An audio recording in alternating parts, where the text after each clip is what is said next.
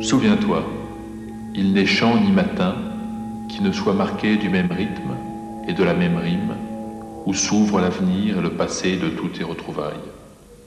Souviens-toi, le monde était étal au départ du train, dans cette petite gare de province qui visait doucement au soleil, éternellement semblable à elle-même.